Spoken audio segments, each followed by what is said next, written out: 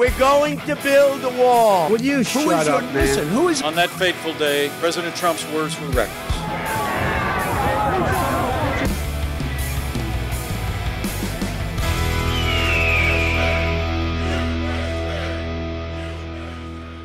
Merhabalar ben Murat Türson. Ben Ali Deniz Çakır. Seçim 24'e hoş geldiniz. Bu akşamki haberimiz. Chicago'da pazartesi günü başlayan Demokrat Parti Kongresi dün gece son buldu. Kongreye katılan önemli isimler arasında Demokrat Parti'nin başkan adayı Kamala Harris ve başkan yardımcısı adayı Tim Walz'un yanı sıra ABD Başkanı Joe Biden, eski ABD Başkanı Barack Obama, Michelle Obama ve Bernie Sanders da vardı. Ancak kongrede en çok merak edilen konu Demokrat Parti'nin İsrail hakkındaki tutumuydu.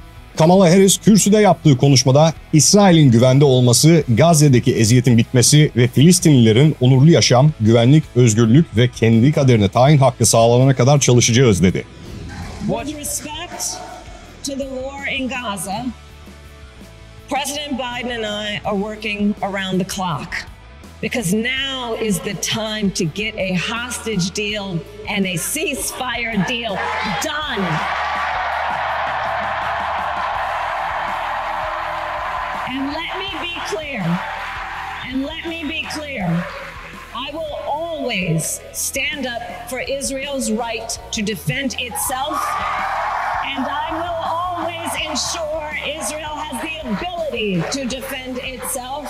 Because the people of Israel must never again face the horror that a terrorist organization called Hamas caused on October 7 unspeakable sexual violence and the massacre of young people at a music festival. At the same time, what has happened in Gaza over the past 10 months is devastating. So many innocent lives lost. Desperate, hungry people fleeing for safety over and over again. The scale of suffering is heartbreaking. President Biden and I are working to end this war such that Israel is secure, the hostages are released, the suffering in Gaza ends, and the Palestinian people can realize their right to dignity, security, freedom, and self-determination. Bu açıklamanın ardından ilerici kesimden tepki geldi. Özellikle İsrail'e silah ticaretinin kesilmesi gerektiğini savunan sol kesim Harris'in bu açıklamasını yetersiz buldu. Evet Murat bu e, tabii ki senin de bizzat yakından takip ettiğin isimler de var. Kyle Kulinski, Hasan Piker. E, mesela Kamala Harris'i çok eleştirdiler dün. Hı hı. Cenk Uygur biraz daha ortadaydı ama ben bu isimleri niye baz alıyorum? Çünkü bence ilerici kesim için e, önemli e, yani fikirler beyan eden insanlar olarak düşünüyorum. Yani biraz hani onların internetteki sesleri gibi de yansıtabileceğimiz profiller olduğunu düşünüyorum. Yani Kyle'ın, Hasan'ın.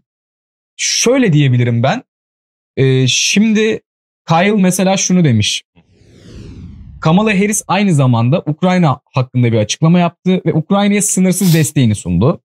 Ve diyor ki Ukrayna'ya sen sınırsız desteğini sunuyorsun ama böyle bir mevzuda there are good people on both sides argümanını kullanıyorsun ya da Evet. there are bad people on both sides. Yani iki taraf da kötü, iki tarafın da hataları var, ikisi de düzeltmeli argümanını kullanıyorsun ama orada bir soykırım oluyor Hı hı. ifadesini kullanıyor. Ya bu basında da çok oluyor. Mesela Ukrayna savaşına geldiğimiz zaman Ruslar şunu yaptı diyor basın. Ama mesela Filistin'e geldiğin zaman e, hastanede bir patlama oldu dili e, kullanılıyor. Yani sanki patlamanın neden olduğu bilinmiyormuş gibi.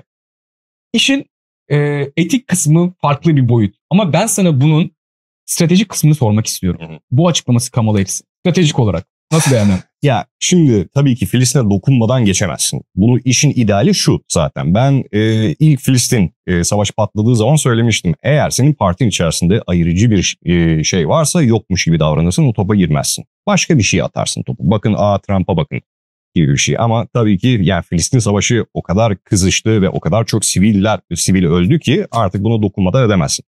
Benim için çok tatmin edici olmadı ama neden solu tatmin edemeyecek bir açıklama yaptığını tahmin edebiliyorum. Çünkü a, Filistin lobisi, pardon Filistin lobisi keşke, İsrail lobisi AIPAC, Amerika'da Yani ki en güçlü lobilerden bir tanesi ve hem cumhuriyetçilere hem demokratlara çok ciddi paralar yağdırabiliyorlar ve gerçekten seçim belirleyebilen bir lobi İsrail lobisi. Ve Kamala Harris ne kadar bir ay içerisinde 500 milyon dolar bağış toplamış olsa bile Donald Trump'a çok daha büyük bağışlar yapabilecek kabiliyete sahip İsrail lobisi ve seçimi gerçekten değiştirebilir. Dolayısıyla Kamala Harris burada çok ince bir çizgide yürümek zorunda. Ben bunu anlıyorum. Ama sol kesimden eğer oyunu istiyorsa daha somut şeylerle gelmeli. Yani İsrail'e silah, silah satışı kesilecek mi? İsrail'e destek kesilecek mi? Bak politik destek kesmek zorunda değilsin. Veya sadece işi Netanyahu'ya çevirebilirsin.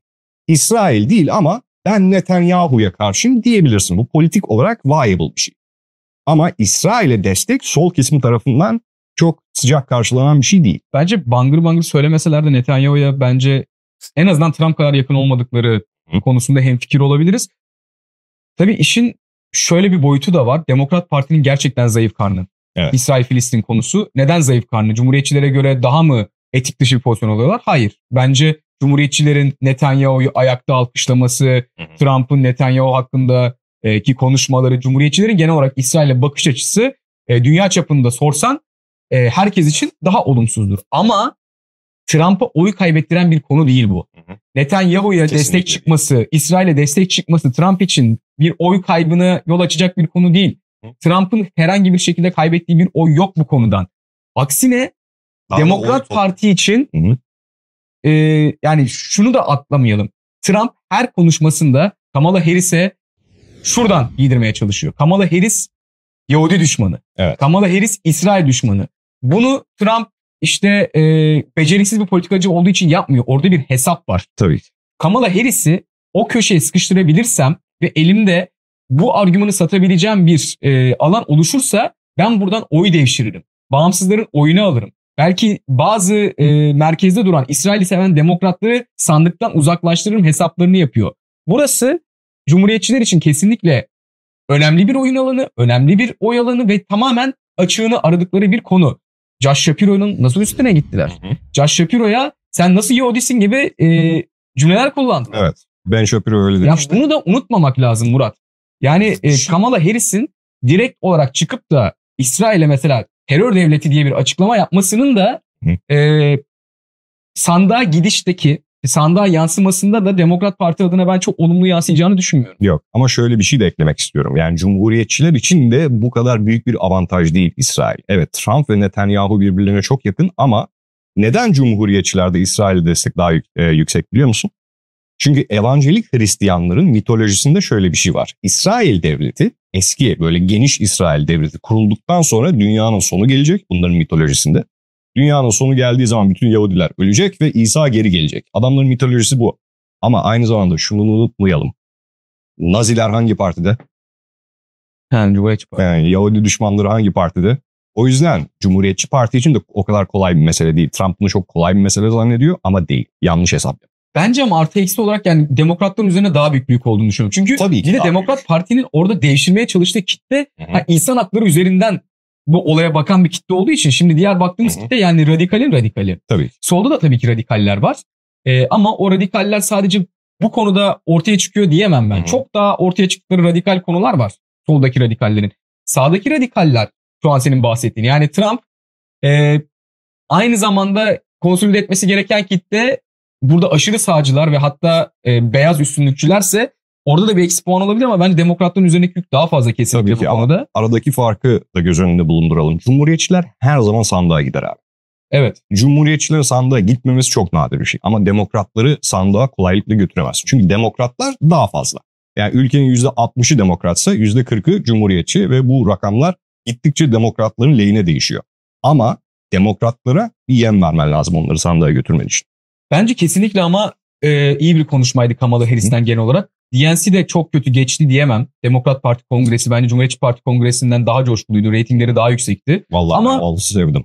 E, Tim Walz tabii ki e, bu Demokrat Parti Kongresi'nin en ön plana çıkan ismi. Ki Michelle Obama konuştu, Barack Obama konuştu ama Tim Walz gerçekten e, önemli bir ön plana çıkan figür ve ben e, şunu da söylemek istiyorum Murat.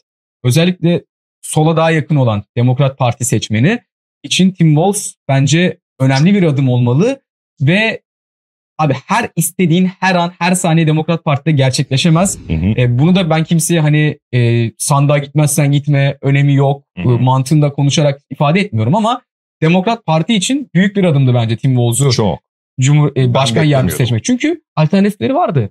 Alternatif neoliberal e, Vardı yani. çok vardı. Koyabilirdi. Yani herhangi bir Karizması jenerik olan. de- demokrat koyabilirler. Josh Shapiro karizması olan bir adam mesela. Hatta, hatta ben Josh Shapiro veya Mark Kelly olacak diye tahmin ediyorum. Çünkü yani solcu bir adayı seçecekleri hiç aklıma gelmemişti. Ama demek ki yani kaybettikleri sol seçmene göz kırptılar. Ve Tim Walz sadece sol bir aday olarak iyi değil. Adamın konuşması çok iyi. Adamın politikaları çok iyi. Adamın geçmişi çok iyi. Hitabeti çok iyi. Yani Tim Walz kadar iyi bir başkan adayı düşünemiyorum ben. Ve hatta bunu daha önce de söylemiştim şimdi de söylüyorum. Abicim demokratlar bu yarışı kazanmak istiyorlarsa Kamala Harris ve Joe Biden yokmuş gibi davranacaklar. Ve sadece Tim Walz'a ve J.D. Vance'a oynayacaklar. Sonuna kadar katılıyorum. E, yani Tim Walz'un çıkacağı münazara Ekim'deki münazara J.D. Vance'le çok güzel olacak. Ohohoho. Çok güzel olacak. Kamala Harris ve Donald Trump'ın 10 Eylül'deki münazarasına çok heyecanlı değilim dürüst olmak gerekirse. Ee, Kamala Harris'in ciddi hatalar yapması lazım bence. Çünkü Donald Trump da hatalar yapacak. Yapabilir yani. Kamala Harris mutlaka hatalar yapacak o münazarada. Hiç Kamala, ummadığımız Kamala şekilde Harris iyi bir konuşmacı değil şimdi. potlar Bunu- kıracak. Evet. Potlar kıracak ama karşısında da pot kırma uzmanı olduğu için Hı hı. bir şekilde ben dengeleneceğini düşünüyorum. Çok ciddi bir pot kırmadığı sürece ki ben e, yani Demokrat Parti seçmeninin bence en çok endişelendiği konu Kamala Harris'in İsrail-Filistin üzerinden büyük bir pot kırabileceği e, şey kürsüye çıktığında Hı hı. Trump'la karşısında onu bir şekilde e, çalışıp üzerinden geldiği sürece o münazaranın çok eksi yazmayacağını düşünüyorum ben. İlk görüşüm bu şekilde. Evet ama şöyle bir şey de göz önünde bulunduralım. Şimdi Trump geçenlerde kendi ağzıyla söyledi. Biz Biden'a karşı yarışmak için ona karalama kampanyası için 100 milyon dolar para verdik ve ondan sonra Biden yarıştan çekildi. Ve adamlar hala ne yapacaklarını bilmiyorlar. Yani Kamala Harris e, eskiden kendine işte Hintli diyordu şimdi siyah oldu. İşte Kamala Harris aptal bir kadın diye böyle bo- boş boş argümanlarla geliyorlar. Kamala Harris'e nereden vuracakları hakkında hiçbir fikirleri yok. Ve gerçekten bu işi beceremiyorlar. Trump da o zamana kadar doğru düzgün bir saldırı planı toparlayamazsa ki toparlayamayacak gibi gözüküyor. O zaman Kamala'nın karşısında tamamen kendini rezil edebilir. Peki Trump dün ne yaptı? Piyasa Hmm. bittiğinde apar topar bir şekilde Fox News'a katıldı. Paket var mı? Var. Gelsin. Let me ask you this, sir. There has been a huge uh, appeal and momentum for women voters. She's trying to pull that the youth vote, the Hispanic vote, uh, the black vote back in her direction. Polls show that she's having some success in that at this point. So, what are you going to do? What's your strategy to rebuild the momentum that you had with those voters? No, she's not having success. I'm having success. I'm doing great with the Hispanic voters. I'm doing great with black men. I'm doing great with women because women want safety. They want safety. And they don't have safety when they have somebody allowing 20 million people into our country, many of them very dangerous people. No, it's only in your eyes that they have that, Martha. Uh, we're doing very well in the polls. We're leading in most of the polls. And in, in the um, swing states, we're leading in almost every one of them. Mr. President, The auto workers are voting for me. Valla bir açıklaması daha vardı. %70'i yoksulluk içinde yaşıyor Amerika'nın ve Öyle mi? e, %70 dedi. Ya dünyanın en zengin ülkesi, ülkesi %70'si Ve yoksul bu mu? konu hakkında hiçbir şey söylemedi Kamala Harris dedi. Aha. Ya şimdi buradaki bence önemli nokta bu soruyu soran kişinin Fox News çalışanı olması. Yani Evet. burada bir manipülatif bir soru yok aslında. Önüne gelen anketlerde ki Rasmussen anketinde bile Cumhuriyetçilerin anketinde bile Kamala Harris'in oyunda Joe Biden'a kıyaslayınca bir artış var ve bu artışı somut olarak anketlerde görülen artışı soruyorlar Donald Trump'a ama kabul etmiyor. Ee, sonra klasik kendi argümanlarını diyor işte ben onlar için çok iyi şeyler yapıyorum işte Kamala Harris hiçbir şey yapmıyor ben onları tehlikeden koruyacağım. Bir panik hali ve Joe Biden'a karşı yarışamamış olmanın e, hayal kırıklığını Donald Trump'ın bütün açıklamalarında ben görüyorum Murat. Abi geçen gün Bütün miting, açıklamalarında. mitinglerinden bir tanesinde çıktı dedi ki e, DNC Ulusal Kongre'de aslında Joe Biden sahneye çıkacak ve benden başkanlığımı aldılar ama ben geri başkanlığımı alıyorum ben tekrar aday oluyorum diyecek dedi. Böyle bir fantezisi varmış. Şöyle söyleyeyim ciddi anlamda bak anlıyorum. Hı hı.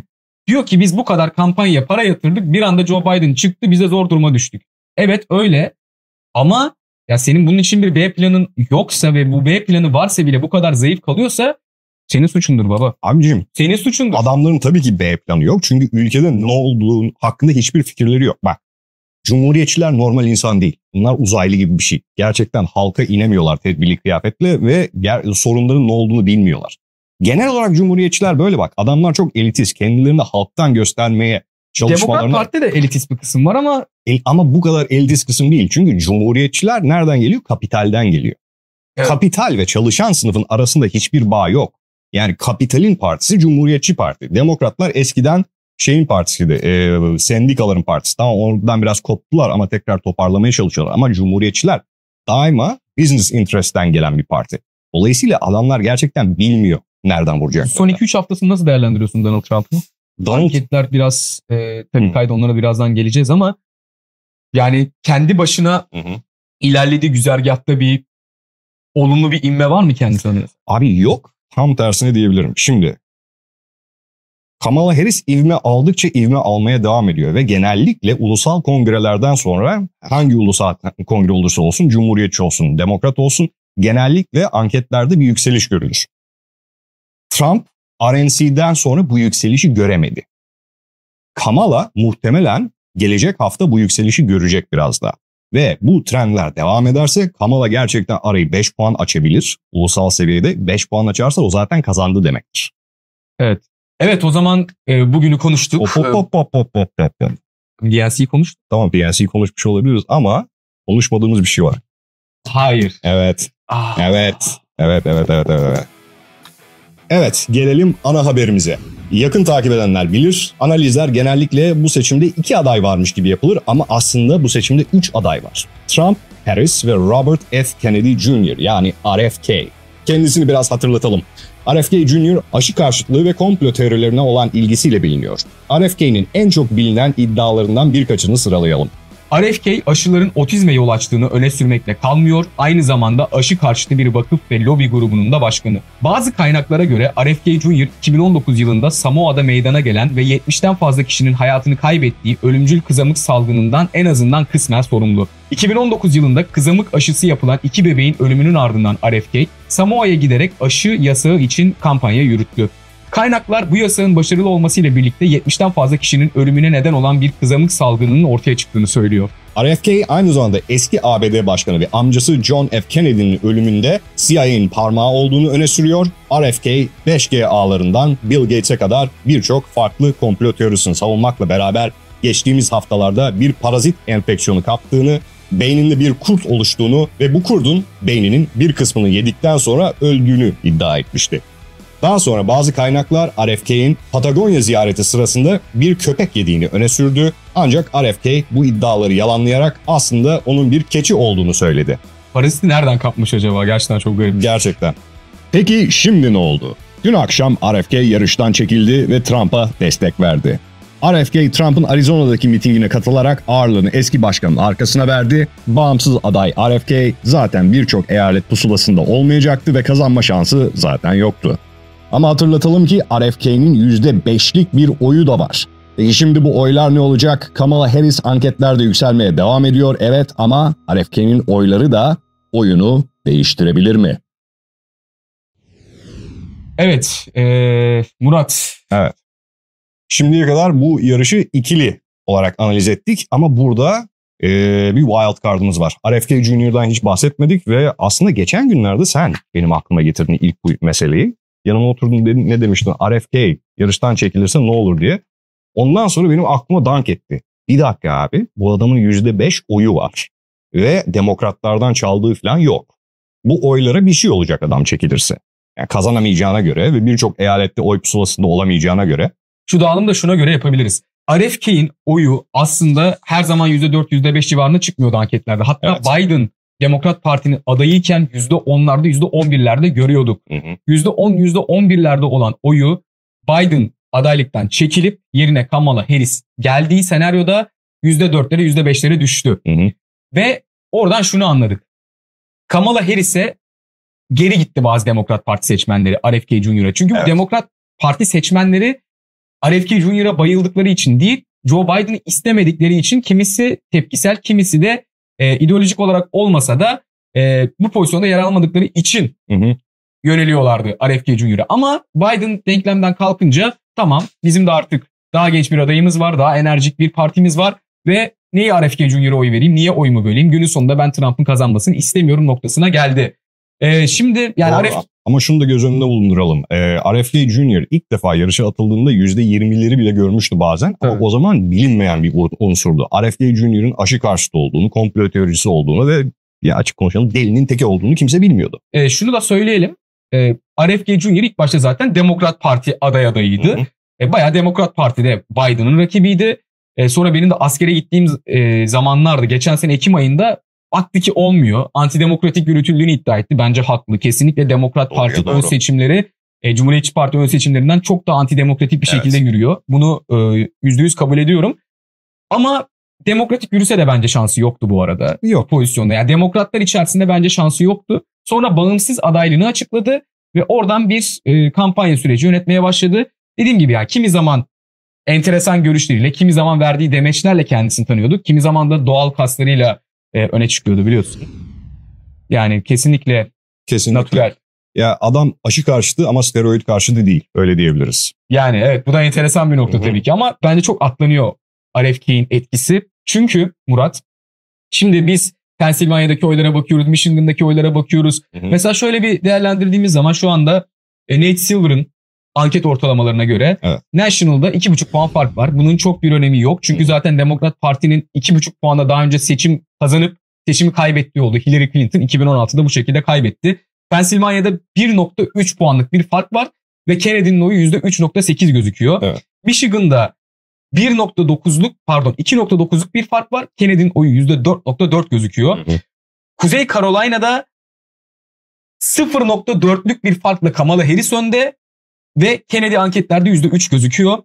Wisconsin'da da mesela Wisconsin'da çok etkisi olmaz ama mesela Georgia'da Trump şu an önde. Gerçi yine etkisi olmaz çünkü Trump e, götürecek gibi duruyor. Tabii. Arizona'da çok kritik. Özellikle 0.8 puanla Kamala Harris anketlerde önde gözüküyor ama %5 alıyor şu anda Kennedy. Ve çekildiği senaryoda da neler olabileceğini sen de zaten burada çıkartmışsın. Evet şimdi e, ben bir model çıkarttım. Yani bu modelin e, bilimsel değeri tartışılır ama öncelikle şunu bir açıklayalım. Şimdi neden eyaletleri e, sıralıyoruz biz? Çünkü eyaletlerde popüler oyla seçiliyor ama ülke genelinde Electoral College'da seçiliyor başkan. Şimdi bunu açıklamamız gerekirse şöyle. Eyalette bildiğimiz bir demokrasi var. İşte daha çok oy olan o eyaleti kazanıyor. Ama Electoral College'da şöyle. Her eyalet kendi delege sayısına göre gidiyor ve bir başkana oy veriyor. Yani eyalet bazlı oyların önemi şu şekilde. Pensilvanya'da eyalet oyu 19 puan ve Pensilvanya'yı bir oyla bile kazanırsa bir aday 19 puanın tamamını alıyor. Bölünmüyor, çarpılmıyor, direkt tamamını alıyor. Geçen seçimde de o yüzden 305'e 232 bitti galiba.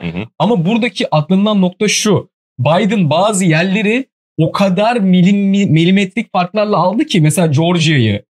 Ya milyonlarca insan oy kullandığı yeri kaç? 6 bin, 8 bin oyla falan aldı. Evet. Georgia'nın kaç? 16 tane electoral vote'u var yani. 16'yı aldı. Direkt Evet. 16'yı aldı. Kimse sana demiyor. Sen 6 bin oyla kaybetmişsin abi. Sen Aynen. 9 alacaksın, sen 7 alacaksın demiyor. 11 bin 16'nın küsürdü. tamamını alıyor. 11 bin küsür. Biden daha fazla oy aldığı için ülke genelinde Georgia'dan ona 16 delege geldi. Oradan 16 oy almış oldu esas. E şu an anketlere bakıyoruz abi. Hı. Puan yani farklar 2 puan, 1,5 puan. Birin altında Evet. olan yerler var Murat bak. Hı hı. Birin altında olan yerler var. Bu eyaletlerde noktada- çok fark ediyor. Bu noktada Kennedy bırak %5 almayı, Hı hı. %1,5 alsa bile adaylıktan çekilmesinin ciddi önemi var. Çok ciddi önemi var. Mesela sen burada çıkartmışsın. Evet. Ve e, çıkarttığın senaryoda şunu e, değerlendirmişsin. Hı hı. Kennedy'nin zaten şu andaki oylarının e, Demokrat Parti'de olan oyları eridi ve zaten belli bir noktaya geldi.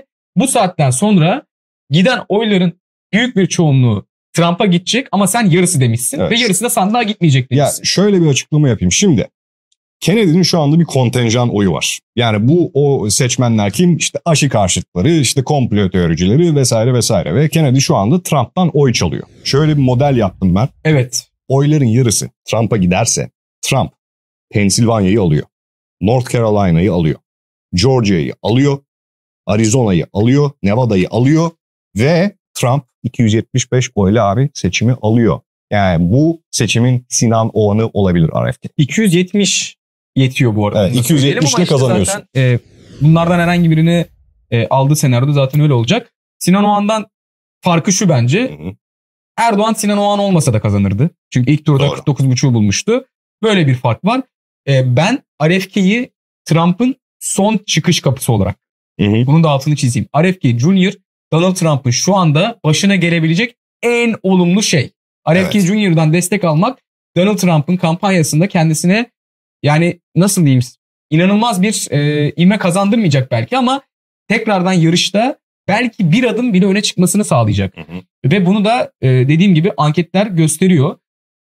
Yani buna karşı demokratlar ne yapacak bilmiyorum. Sen Demokrat Parti'de Kamala Harris ekibinden olsan mesela ne tavsiye verirdin böyle bir hamleye karşılık olarak? Abi hiçbir şey, hiçbir tavsiye veremem. Yani çünkü Kamala şöyle bir şey teklif edemez. Abi sen yarışta kal, Trump'tan oyları çalmaya devam et. Ben sana bilmem ne bakanlığı vereceğim. Bak Trump RFK'ye bakanlık verebilir. Sağda Tavsiye veriyor. Tavsiye Elon Musk'a veriyor. veriyor. Aynen Yani onlara bakan yani sen Trump olarak istediğin herkese bakanlık verebilirsin. Sağcılardan hiçbir ses çıkmaz. Anladın mı? Ama Kamala Harris olarak sen RFK Junior bakanlık verirsen abi orada ortalık inler. Yapamazsın böyle bir şey. Çünkü RFK Junior yani demokratlar tarafından politik siyasi olarak toksik. Ya aklıma şöyle bir şey geliyor. Hani Joe Biden işte oğlunun Hunter Biden'ın yaptığı resimleri 500 bin dolara satın alan bir kadın vardı. Ona da işte uyduruk bir tane işte sivil rol vermişti. Yok İsrail kültür temsilcisi öyle bir şey hatta haberini yaptık şimdi hatırımda yok.